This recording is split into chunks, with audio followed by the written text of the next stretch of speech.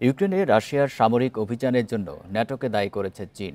দেশটির পররাষ্ট্র মন্ত্রণালয়ের মুখপাত্র এক বিবৃতিতে বলেন, মার্কিন নেতৃত্বাধীন জোটটির উচিত রাশিয়া ইউক্রেনের দ্বন্দ্ব বন্ধে কার্যকর ভূমিকা পালন করা। এর আগে বৃহস্পতিবার ন্যাটো মহাসচিব জেন্স স্টলটেনবার্গ দাবি করেন, রাশিয়াকে অস্ত্র তৈরিতে সহায়তা করছে চীন। তিনি আরও দাবি করেন, পশ্চিমা বিশ্বের সঙ্গে ভালো সম্পর্ক গড়তে চাইলেও ইউরোপে সশস্ত্র সংঘাতে ইন্ধন অব্যাহত রেখেছে বেইজিং। তবে ন্যাটো মহাসচিবের কথা উড়িয়ে দিয়ে চীন জানায় গুজবের ওপর ভিত্তি করে এমন দাবি করা হচ্ছে।